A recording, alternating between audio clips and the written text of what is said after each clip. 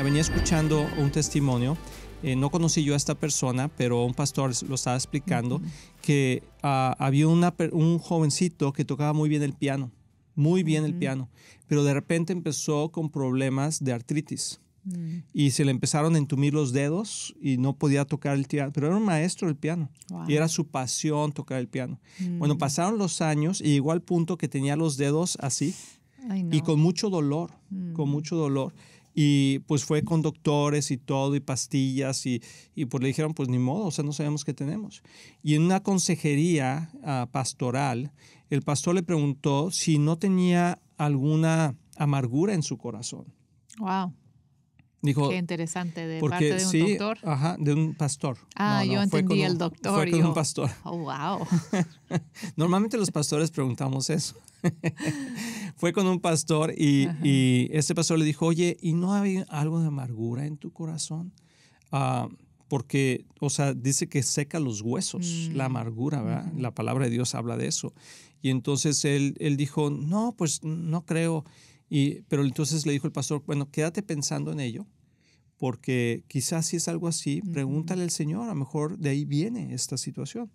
Total que se fue a su casa y todo y oró al Señor y, y el Señor le recordó, no que, no que le tenía que recordar tanto, ¿verdad? pero él tenía una, una amargura muy fuerte contra sus padres. Porque sus padres había pasado muchas cosas en su casa, muchas situaciones difíciles y había un rechazo muy grande de parte de sus mm. padres hacia él. Mm. Y entonces dice que él empezó a, que le dijo al pastor, pues sí, tengo esto. Y entonces empezaron a orar y él empezó a confesar y a, arrepentirse, y decir, Señor, perdóname por esto, Señor, yo perdono a mis padres y los libero de esto y mm. no sé qué. Y increíblemente pasó el tiempo, pasó el tiempo, unos días, meses. Y, y, cada día él empezó a tener más movilidad en sus mm, dedos. Más, hasta que el día de hoy él toca perfectamente el piano y esa específica situación de artritis, no digo que toda la artritis venga de eso, pero es en él, venía de una raíz de amargura. Entonces, dentro de la situación ah, de problemas de salud, tenemos que tener la conciencia de orar juntos como como matrimonio y pedirle a Dios revelación si no hay algo que está obstaculizando. Exacto, la respuesta de Dios. La respuesta de Dios. Sí, definitivamente usar todos los recursos que, que Dios nos da.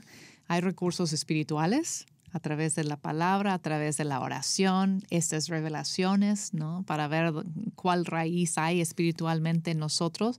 También hay recursos emocionales. Dios quiere sanarnos emocionalmente. Hay enfermedades que están conectadas directamente con el estrés y con problemas y traumas emocionales. Entonces, y hay recursos para eso. Hay consejería también. Hay también la palabra, como ya dije, la palabra nos sana, sana nuestra mente nuestro cuerpo. Este, y también hay recursos naturales, recursos para nuestro cuerpo, ¿no? Tanto como comer sanamente, cuidar lo que está la alimentación y también hay medicinas, gracias a Dios, que, que, nos ayuda. Entonces tenemos que ser sabios y, lo importante, lo que estamos haciendo ahorita es animarnos a, enfrentar la enfermedad juntos, no dejar que nos separen. Así es. Y algo también que, amor, que, es importante ah, recalcar es que cuando, cuando viene la enfermedad decimos, ¿cómo llegó esto? Mm.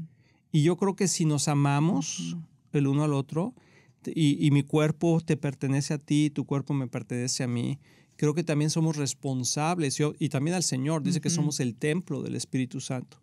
Creo que tenemos que tener cuidado de cómo nos cuidamos. O sea, de, comer eh, eh, correctamente, de hacer ejercicio, porque creo que muchas veces el problema de la enfermedad, lo decimos, me pasó esto, ¿no? Ahora soy diabético, o ahora soy esto, ahora son... ¿De dónde de Dónde, ¿De dónde vino? Pues sí, pues son 20 años comiendo ah, pan dulce, ¿verdad? En la noche. O sea, no sé.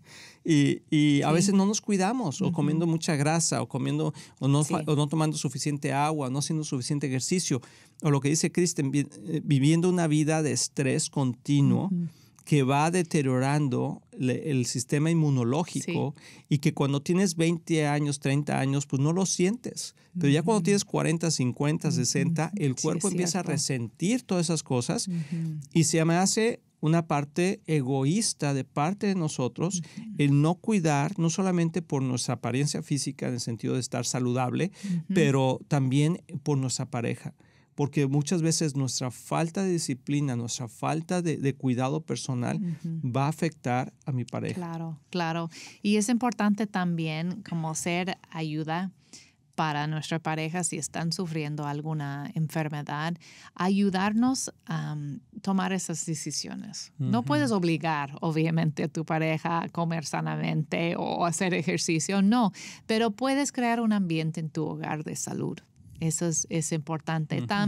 también podemos crear un ambiente de salud espiritual y de salud emocional, quitando el estrés. ¿Cómo puedes ayudar a tu pareja que tal vez está sufriendo en, su cuerpo o, en su mente? Sabemos también que hay enfermedades psicológicas.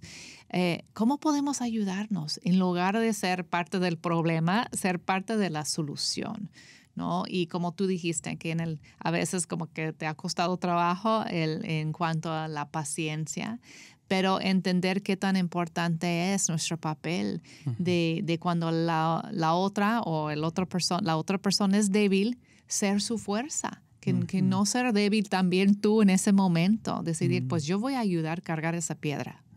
sí, sí, sí, y, y, también cargarla juntos. Sí. Y ahora, ¿qué pasa ya en, en la parte difícil, la parte difícil cuando, cuando tienes esa pérdida, cuando la situación no mejoró, pues eh, creo que la, eh, la, confianza en Dios, número uno, pero también el apoyo mutuo hasta el último momento. Tenemos testimonios muy difíciles, pero muy bonitos de personas como apoyaron hasta el último momento a su pareja en situaciones muy difíciles.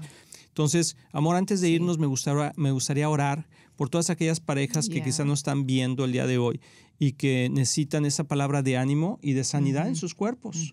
¿Por qué no oramos por ellos? Amén.